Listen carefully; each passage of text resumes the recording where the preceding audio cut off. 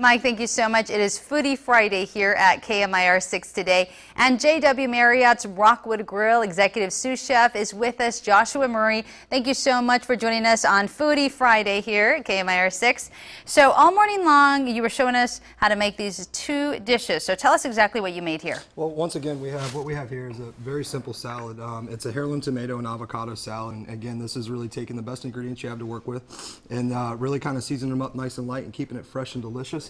And then over here to the left, uh, what we prepared is a uh, pan-seared Pacific longline caught halibut. Um, and then we also have a carrot ginger puree, um, and then a little bit of sauteed asparagus. And it's just finished off with a little bit of a daikon radish sprout.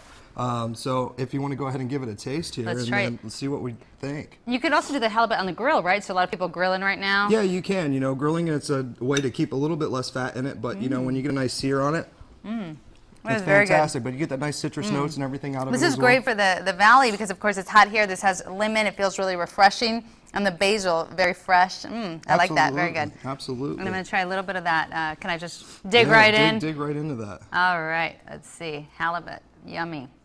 Now, the thing with halibut, sometimes for me, I don't know about, uh, obviously you're a professional here, but it's hard to cook fish because it's hard to know when it's overcooked or not. So, wh- what kind of tips do you have for cooking Well, fish? the one thing that I think where people kind of get in trouble with fish is that Mm. um, it is something that carry over cooks quite a bit. So, Mm. you know, you don't want to necessarily take it till it's completely done. You want to let it get close and then just let it rest a little bit, and then it really will come in nice and, and be nice and uh, moist for you. Mm, that is so good. I really like that. This puree. I need a, another bite of this puree.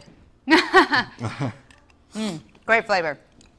Thank you, Joshua, so you much enjoyed for joining us. And um, we're going to get the information up for Rockwood Grill. So if you want to go visit Joshua and the entire staff at Rockwood Grill, they have some great summer specials right now, Yeah. great summer dishes.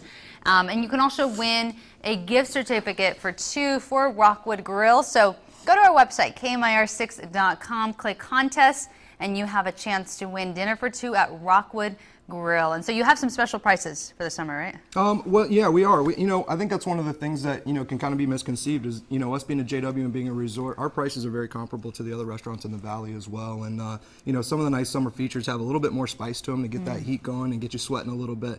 Um, you know, we have the uh, habanero honey glazed chicken brochettes, and then we're also featuring a uh, a beautiful uh, grilled spring lamb chop as well. So um, you know, Sounds come on down. We really modified a lot of our menu for the summertime and embracing a lot of the vegetables that the valley has to produce. Wonderful. Joshua, thank you. Delicious meal. Thank you for sharing it with us and for joining us on Foodie Friday.